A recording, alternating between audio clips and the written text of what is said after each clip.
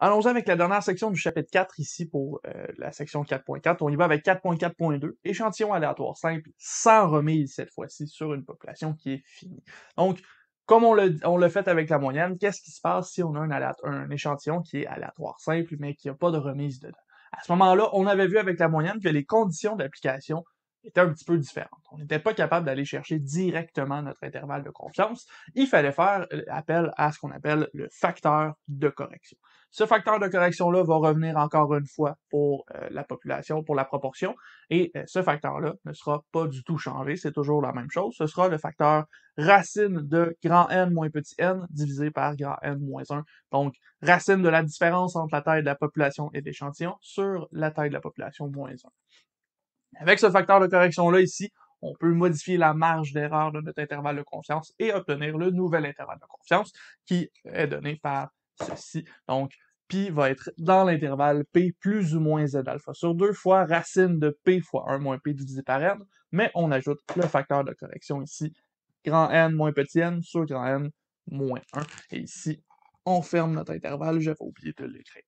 À ce moment-là, cet intervalle-là nous donne encore une fois un niveau de confiance de 1 moins alpha fois 100%.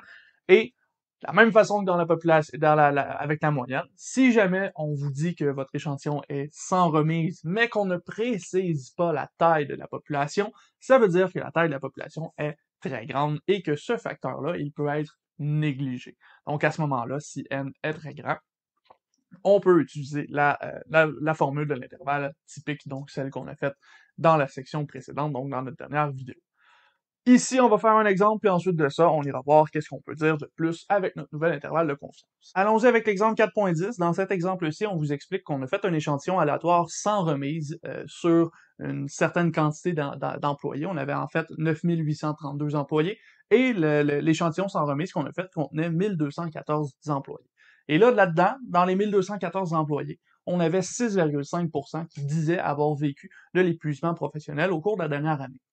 À ce moment-là, on veut construire un intervalle de confiance à 98%, donc avec un alpha qui vaut 0,02, considérant les données qu'on a ici sur la proportion, donc le P qu'on a ici pour la vraie population. Dans ce cas-ci, on sait que euh, comme on a une population, comme on a sans remise, on a besoin euh, du facteur de correction. On veut le facteur de correction. De cette façon-là, on peut dire que la proportion pi va être trouvée dans l'intervalle p plus ou moins z alpha sur 2 racine de petit p fois 1 moins p divisé par n fois grand N moins petit n sur grand N moins 1 c'est l'intervalle qu'on a besoin, c'est ce qu'on venait d'établir, étant donné qu'on a un échantillon sans remise sur une population qui est finie, on nous donne la taille, donc on va l'utiliser ici pour notre facteur de correction, pour ainsi trouver notre intervalle de confiance. Dans ce cas-ci, ça me prend quoi? Ben, ça va me prendre Z alpha sur 2 pour aller trouver ça. Le P, on l'a déjà, donc on va pouvoir l'utiliser directement dans notre calcul, et à ce moment-là, on va pouvoir donner exactement cet intervalle-là avec ces informations-ci. Donc, on trouve Z alpha sur 2 pour commencer. Dans ce cas-ci, on a donné que alpha était de 0,02. Ça veut dire que alpha sur 2 va être égal à 0,01. Ça veut dire qu'on cherche Z 0,01.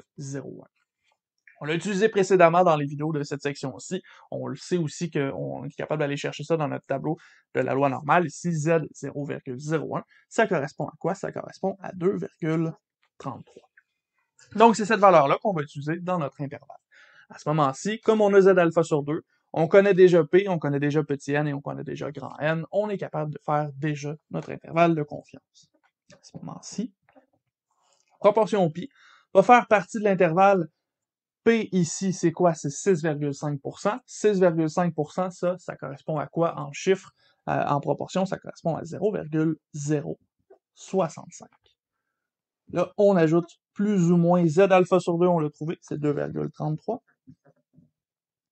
fois la racine de notre proportion 0,065 fois 1 moins 0,065 divisé par n et euh, petit n ici c'est 1214. À ça, on va multiplier le grand N moins le petit n, donc là, je pense que je vais manquer d'espace. Ah, ça va être serré, mais c'est bon. Euh, donc, 9832 moins 1214 divisé par grand N moins 1, donc 9831. On ferme la racine et on ferme l'intervalle. À ce moment-ci, il ne nous reste plus qu'à calculer ces informations-là. Et euh, c'est exactement ce qu'on va faire dans ce cas-ci. On va obtenir que pi va être dans l'intervalle 0,065 plus ou moins. Ici, si vous faites ce calcul-ci, vous devriez obtenir 0,015. Donc, tout ce qui nous reste à faire, c'est d'additionner ou de soustraire 0,015 pour connaître l'intervalle complet. Ici, pi va être dans l'intervalle 0,065 moins 0,015, ça va vous donner 0,050. Et de l'autre côté, si on l'additionne cette fois-ci, on va obtenir 0,080. Donc, on sait que la proportion réelle de la population se trouve entre 0,05 et 0,08. Donc, entre 5% et 8%. On a donc entre 5% et 8% de nos employés qui éprouvent de l'épuisement professionnel euh, au sein de cette entreprise-là.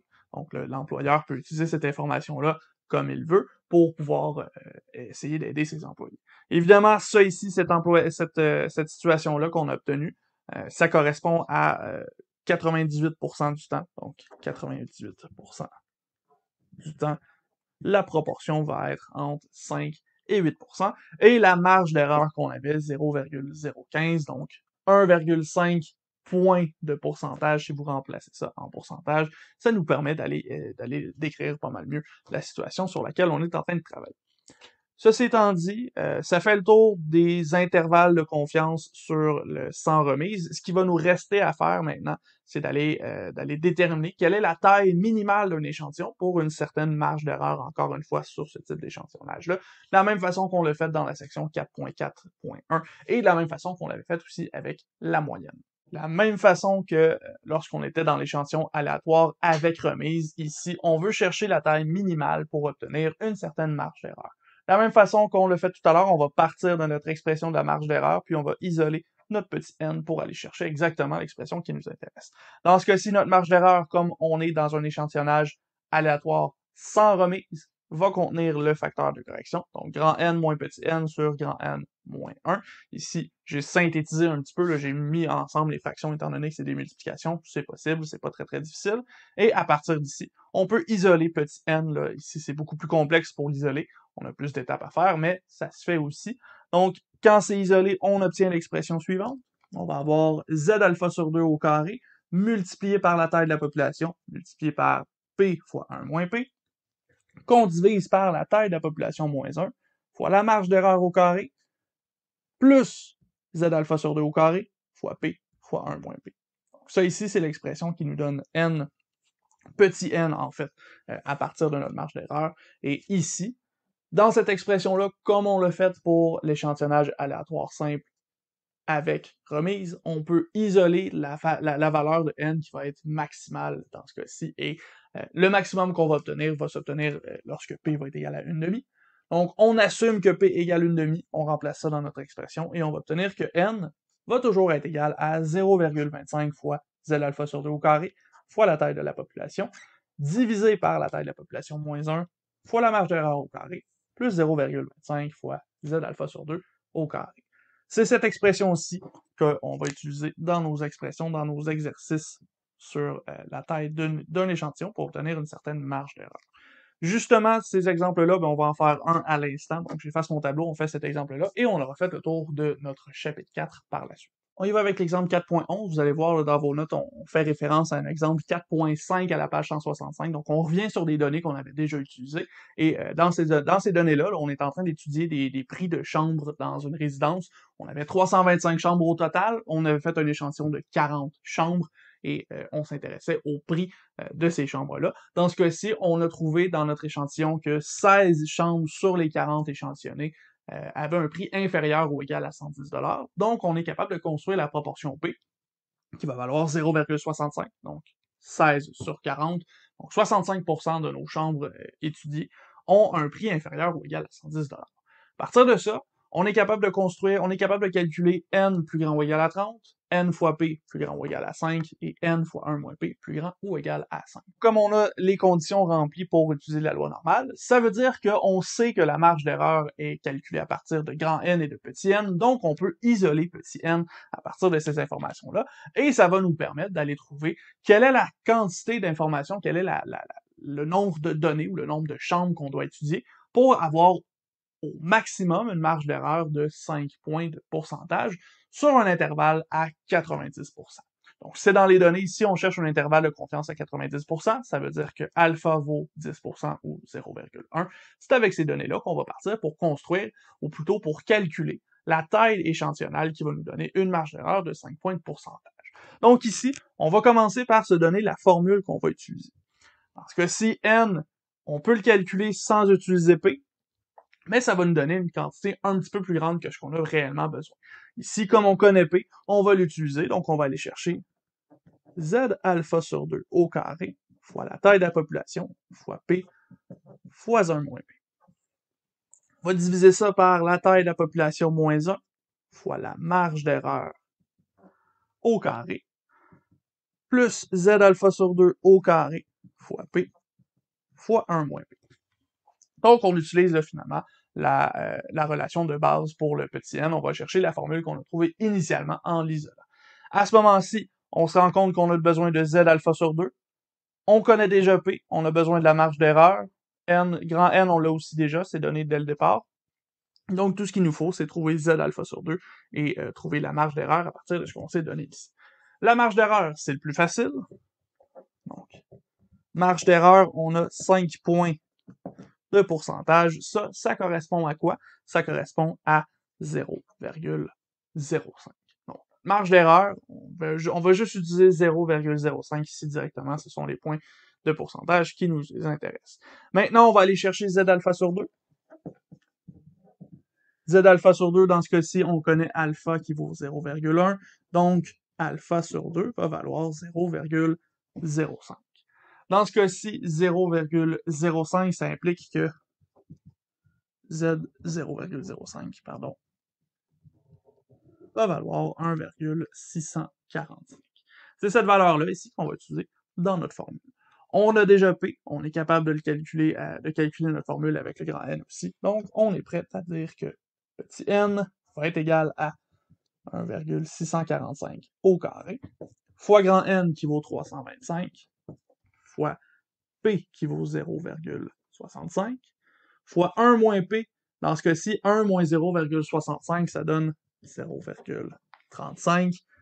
Donc, on peut l'écrire dans notre formule. Il nous reste à aller calculer n-1. Donc, grand n-1, ce sera 324. La marge d'erreur au carré, ce sera 0,05 au carré. Z alpha sur 2 au carré, donc 1,645 au carré, fois 0,65 encore, fois 0,35 encore. Donc ici, là, finalement, notre formule, elle est juste pleine de, variables, mais ces variables-là, on les connaît tous, donc on les connaît toutes, donc on est capable de le remplacer dans notre expression. À ce moment-ci, on va faire le calcul. Je vous laisse pitonner ça dans votre calculatrice, c'est quand même long, donc euh, allez-y étape par étape, et vous devriez obtenir ici 141 pour l'expression qui nous intéresse. Donc on va aller chercher 141 euh, données pour pouvoir faire notre échantillon qui va nous donner une marge d'erreur de 0,05 euh, dans ce cas-ci. Ici, évidemment, mon 141, il a été arrondi parce qu'un nombre de données, ça doit être un entier, et je l'arrondis toujours à l'entier supérieur pour être certain d'obtenir au plus la marge d'erreur qu'on s'était donné. Donc ici, c'est 141, la réponse de ce problème-ci. Donc là, vous voyez, mon tableau été effacé. Euh, je suis désolé, ma caméra a planté pendant que je faisais ma conclusion. Je recommence. Euh, donc, on, a fait le tour du chapitre 4. On est maintenant rendu à aller au chapitre 5. Je sais que dans vos notes supplémentaires, dans les notions supplémentaires, on a deux sections supplémentaires pour l'intervalle de confiance, mais nous, on les fera pas cette session-ci, comme on est à distance, c'est un petit peu plus complexe à faire à distance ces deux-là. Donc on va laisser ça de côté, nous on va passer tout de suite au chapitre 5, on va aller voir euh, qu'est-ce qu'on peut faire dans les tests hypothèses. Donc, quelque chose d'un petit peu plus intéressant du point de vue statistique maintenant, euh, qu'on va être capable de faire un petit peu des prédictions, un petit peu tester qu'est-ce qui va être vrai ou pas avec des statistiques au point de vue euh, de la probabilité. Donc, c'est ce qu'on fait dans une prochaine vidéo avec le chapitre 5. On commence à parler des tests hypothèses.